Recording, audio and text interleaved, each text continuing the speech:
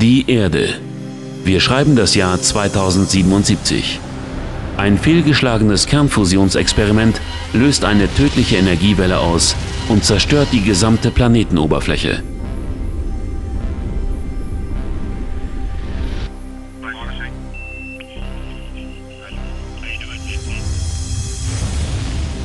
Ein Jahr später wird der verseuchte Planet von der Föderation zur verbotenen Zone erklärt und darf von nun an nicht mehr betreten werden.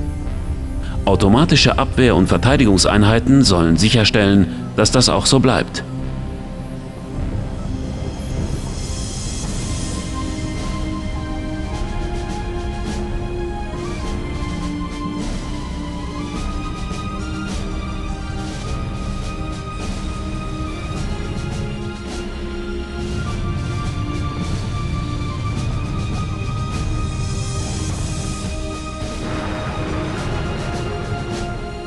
Raubritter, Piraten und Abenteurer aus allen Teilen der Galaxis wittern in den Ruinen fette Beute und machen sich auf die Suche nach wertvollen Überresten einer ehemals hochmodernen Zivilisation. Das ist die Welt von Forsaken.